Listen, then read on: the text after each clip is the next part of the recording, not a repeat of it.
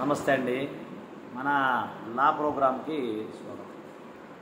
ఇది అంటే నేను ఈ మధ్య తరచుగా వార్తల్లో వింటున్నాను మనం చూస్తూనే ఉన్నాం. ఏదంటే ప్రేమికుల గురించి సంబంధించిన వీడియో. ప్రేమికులారా మీరు కొద్దిగా జాగ్రత్తగా ఉండండి. ఎలాగంటే ప్రేమకి ఒక వివాహానికి చేసుకోవాలి. ప్రేమ వేరు వివాహం వేరు.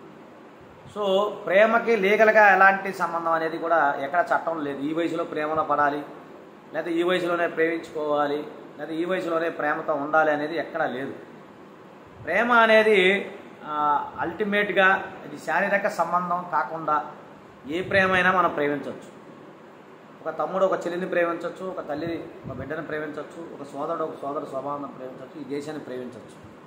సో ప్రేమ అనే అర్థం అనేది చాలా విస్తృతమైన అర్థం. కానీ ఎప్పుడైతే ప్రేమకి వివాహానికి సంబంధం ఉంటుందో అలాగే ప్రేమకి శారీరక సంబంధానికి సంబంధం ఉంటుందో ఆ ప్రేమల గురించే మనం మాట్లాడుకుందాం ఫస్ట్. ఇప్పుడు వివాహ వ్యవస్థకు సంబంధించిన ప్రేమ గురించి మాట్లాడుకుందాం. ఇద్దరు ఒక అమ్మాయి అబ్బాయి ప్రేమించుకున్నారు. అయితే కొన్ని సందర్భాల్లో ఆ అమ్మాయి అబ్బాయిని మోసం చేసింది. ఇమీడియట్లీగా అతను చనిపోతూ ఉంటాడు. లేదు ఒక అబ్బాయి ఒక అమ్మాయిని మోసం చేస్తే అమ్మాయి చనిపోతా ఉంది. లేదు మనం ఒక వీడియో చూసాం. రైలు పట్టాల మీద ఇద్దరు ప్రేమికులు పడి చనిపోవటం. అలా చాలామంది చూస్తాం. ఊరేసుకుని చనిపోయారు నా కళ్ళ ముందు ఒక అమ్మాయి అయితే మా కాలనీలో ఒక అమ్మాయి చనిపోవటం. నేను చూసాం. ఇది ప్రేమ అనేది ఒక జాడ్యం. ఇది సిగ్మాన్ ఫ్రైడ్ అన్నట్టు నిజమైన ప్రేమికులు ఎప్పుడు కూడా చనిపోరండి. అది గుర్తుపెట్టు సరే మరి మీరు చెప్పేది వేరండి ఇదేదో చెప్తున్నారు.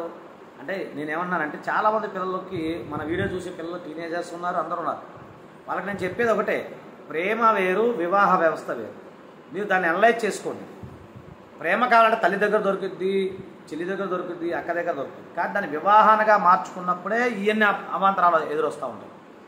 సో ఇద్దరికి కావాల్సింది ఏంటంటే ఇప్పుడు పెళ్ళి వయసు కంపల్సరీ తెలుసుకోండి ఒక ముఖ్యంగా మీరు ప్రే- ప్రేమించుకుంటే ఓకే ప్రేమించుకున్న తర్వాత పెళ్ళి చేసుకోవాలనుకున్నప్పుడు వయసు గురించి మీరు మాట్లాడుకోవాలి.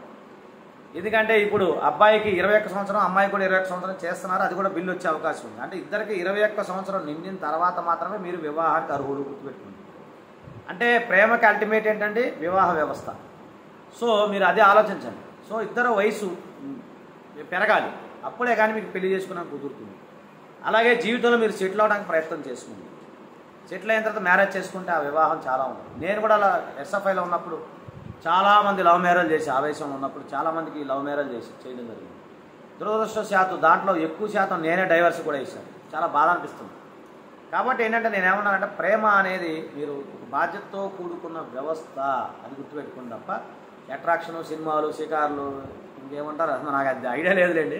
మనం ఎప్పుడు అట్లా మా లైఫ్లో ఏదో పెద్దల గురించి సంబంధాలు మేము చేసుకున్నాం కానీ మా చుట్టాలు కానీ మా వాళ్ళు కానీ మా అన్నదమ్ములు అక్క చెల్లెలందరూ కూడా అలాంటి మా కుటుంబాలు లేవు కానీ నాకు అంత నాలెడ్జ్ లేదు. సో నేనేమన్నంటే ప్రేమ అనేది లై ఏదంటారు కదా ప్రేమ ప్రేమను ప్రేమించిన ప్రేమచే ప్రేమించబడిన ప్రేమ ప్రేమను ప్రేమగా ప్రేమిస్తుంది. నాకు తెలిసిన కొటేషన్ అది ఒకటేనండి. సో దయచేసి ప్రేమికులారా తమ్ముళ్ళు అక్కలు చెల్లెళ్ళు అందరూ దయచేసి మీరు ఎలాంటి తొందరపాటు నిర్ణయాలు తీసుకోమాకండి ఆత్మహత్య అలాంటి చేయమాకండి. కావాలంటే మీరు లీగల్గా మీరు వివాహం నిజంగా మీరు మన వీడియోలు కూడా ఉన్నాయి. వ్యాలిడ్ వివాహం ఏ విధంగా ఉంటుంది? అలాగే మీరు ఇద్దరు కూడా మైనార్టీ థియరీ అంటే మైనార్టీ ట్వంటీ వన్ ఇయర్స్ లెక్కేసుకోండి. మీరు ట్వంటీ వన్ ఇయర్స్ దాటిన తర్వాత హ్యాపీగా మీరు మ్యారేజ్ చేసుకోవచ్చు. మీకు అప్పుడు చట్టం సహకరిస్తుంది అన్ని సహకరిస్తుంది. కాబట్టి దయచేసి మీరు ఈ యొక్క వీడియోని లైక్ చేయండి షేర్ చేయండి. థ్యాంక్ యూ నమస్తే. జై హింద్.